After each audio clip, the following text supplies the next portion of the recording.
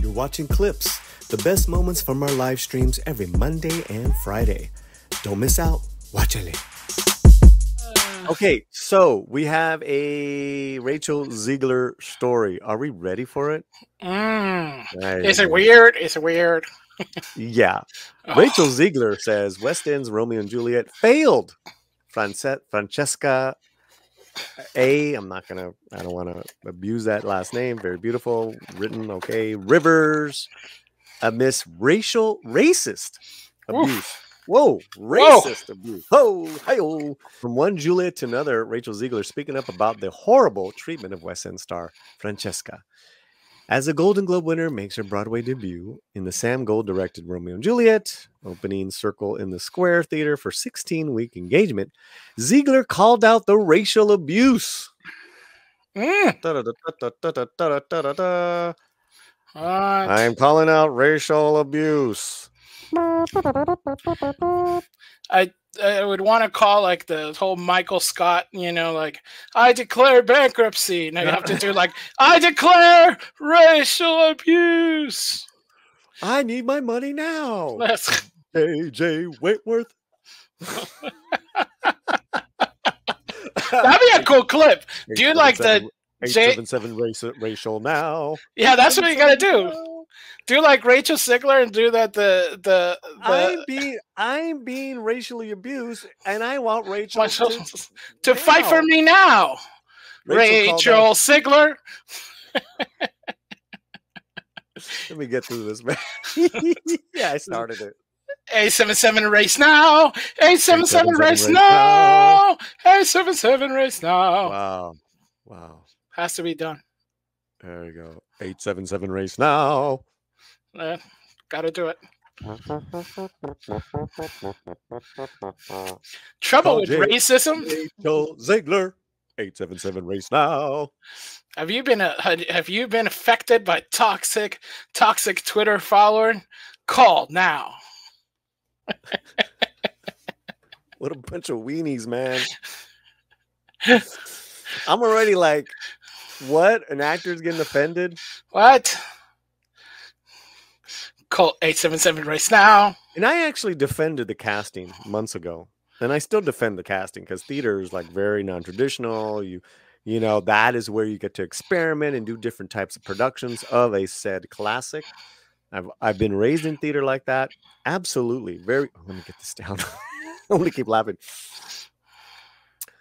But there is a good there is a point she brings up. But I want to talk to a bigger point on this. Oh, where did the story go? You you took it off. Did I nuke it? You nuke it. I nuke it. I nuke it. There you go. Okay, but let's go on with this with this with this story here. All right. All right. She calls out the production saying a lack of protection that, that wasn't provided. After they connected by her now Snow White co-star Dujona, Zegler noted she texted with support to her. She responded and vocalized her thanks for people who stood up for her in the time where everybody was tearing her down. How do you vocalize anything on text? You you, you basically don't they- don't they have an app for that?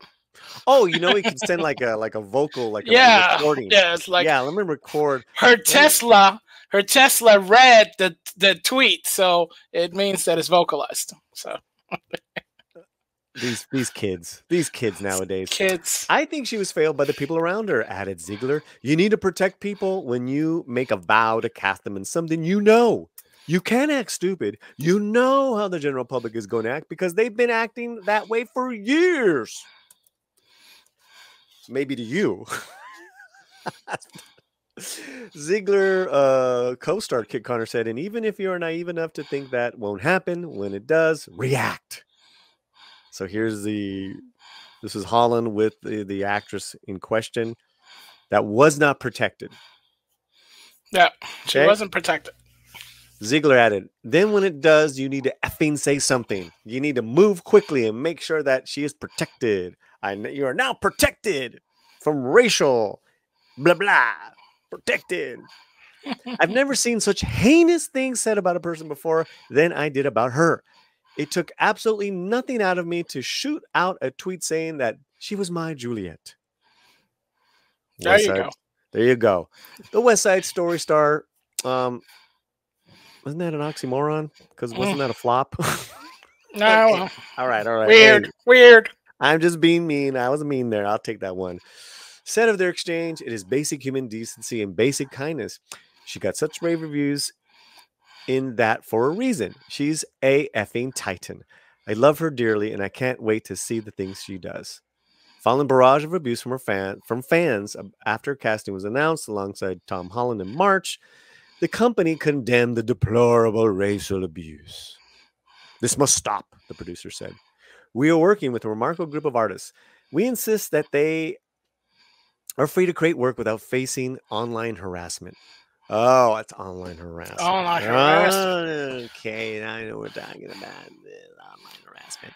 We will continue to support and protect everyone in our company at all costs. Any abuse will not be tolerated and will be reported.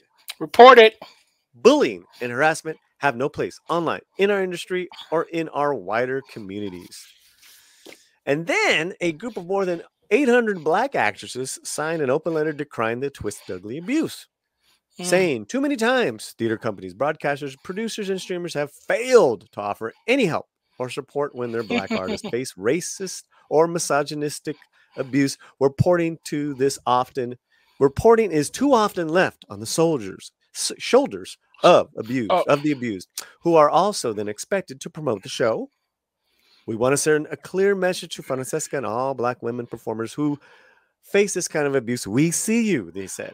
We see the art you managed to produce with not only the pressures that your white colleagues face, but with the added traumatic hurdle of misan Misandry. of misonoir. No, it's not misandry, it's misin misonoir.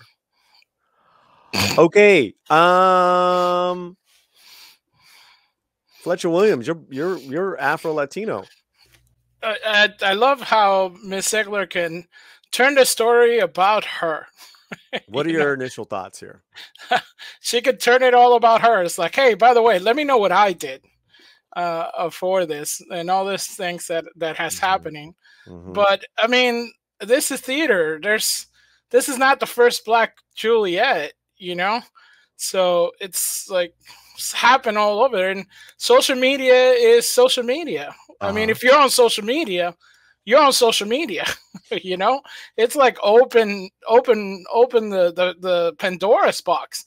Anytime you're out there, I think I agree in the sense that if you're on, like she says, the actors are told to promote on social media right now. That's that's like the thing. Before they used to just go and talk to uh, reporters or something like that, Uh-huh, or uh-huh, mhm. now everybody's on social media uh, which you know a lot of people that said that's actually a bad thing for the profession because you know the the the, the mask is off. But then you know it, I, I agree in the sense that if she's trying to promote it and she's getting hate back then yeah that's that's abhorrent. But that is the internet. I mean i think what she's asking for is kind of like the stuff that they're doing like in england and the eu which is going after people who post something that somebody else considers, you know, bad and actually Mm. arresting folks. Yeah. So, but that's not America. Well, Hopefully. they're laying the groundwork, the language for Yeah. that, right? And it, it falls in, under the same thing as kind of going after Elon Elon Musk, uh, going after maybe even channels like us to a lower degree. That we're we're us by making fun of this or you know adding uh, adding some brevity to to to the situation. No, there is no brevity. It's not funny, man. It's fucking racist, right? Yeah. You got to condemn this, Paulie. It's like, Right. you know what? Yeah. Every sane person here in the chat, every sane person says if you're doing racial shit that's not cool, they're not cool with it. That that is already that is already a given. I I, I will guarantee you if I if I did a if I did it let, let's do it right now. Everyone in the chat right now. Give me a one or give, me a one for yeah, racial crap is not cool. Or two, or maybe you shouldn't say racial crap is cool. I think you know what I, my, the point is the point is is that any sane adult is against racial bullying. Duh. duh. Unless it's funny, then. Well, I mean, listen. then it's I family saw- related. No, no, but listen, listen. I did see, I did see some really awful portrayals of this actress. Oh, they- yeah. they tr- they ch- kind of changed out the looks of her. That was disgusting. Yeah, yeah.